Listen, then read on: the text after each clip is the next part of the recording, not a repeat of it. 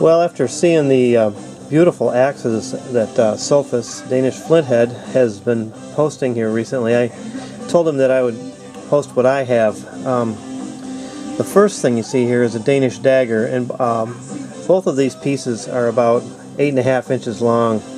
Now this Danish dagger, this is one I made back in 2002. A good friend of mine went to Denmark. He gathered some flint. Look how thin this blade is.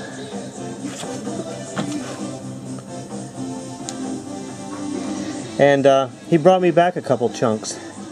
Out of one piece I made I made this dagger. And the other piece I made a regular antler handled knife which I no longer have and I wish I did. But as things go, they come and they go sometimes. And uh, it was a beautiful piece of stone just like this. Over here is a eight and a half inch squared section axe. And this was made by an archaeologist uh, named Mike Stafford. I think he lived around Michigan. Look at this look at this job he did on this thing. This thing is huge too. He did a beautiful job on the flaking and bits really really nice on this. And uh, he signed it with a diamond. And if you look closely, that's his name right there. So um, Sofus, these are my two Danish pieces, both made out of Danish flint. And uh,